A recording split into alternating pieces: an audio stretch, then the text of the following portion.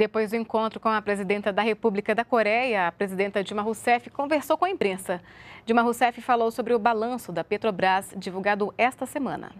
Eu considero muito importante a aprovação do balanço, porque a Petrobras vira uma página, acerta seu passo e eu tenho certeza que a Petrobras vai dar ainda muitas alegrias para nós nos próximos meses e anos. Ao concluir e registrar o seu balanço, ela mostra também que ela superou todos os problemas de gestão é, ligados à questão da Lava Jato, que porventura ainda estivesse pesando justamente o fato da necessidade de você fazer o registro das perdas.